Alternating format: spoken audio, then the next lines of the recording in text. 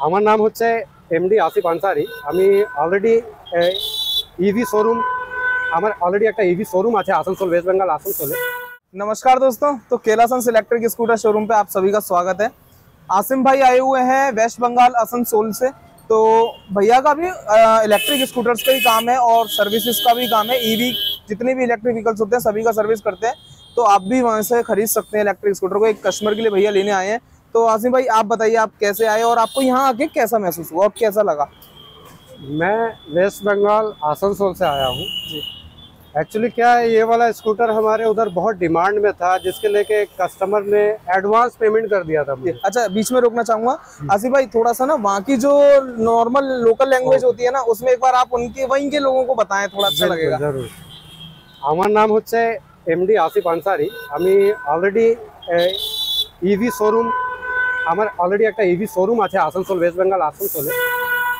Actually আমার আমাদের ওখানে অনেক এই স্কুটারের ডিমান্ড হচ্ছিল। একটা কাস্টমার ছিল অনেক দিন থেকে আমাকে ডিমান্ড করছিল এটা আমাকে এনে দাও আলিগড় থেকে এনে দাও। সেজন্য কাস্টমার আমাকে অলরেডি মানে অ্যাডভান্স করে দিয়েছিল। আনার আগেই আমাকে অ্যাডভান্স করে দিয়েছিল আপনি আমাকে এটা এনে দিয়ে দাও আমাকে খুব রিকোয়েস্ট করুন। সেজন্য আমি আজকে এখানে এসেছি কেলাসন্স authorise dealer electric scooter showroom electric scooter showroom है। भैया ने अब अपनी नॉर्मल वहाँ की वेस्ट बंगाल की लैंग्वेज में बताया। थोड़ा थोड़ा मुझे भी समझ में आया। तो आप भी जो भी वीडियो देख रहे हैं वेस्ट बंगाल से वो हमें आप बताएँ तो हम आपको वहीं पे भैया के थ्रू आपको दिलवाएँगे और सर्विस भी वहाँ पे रहेगी हमारी।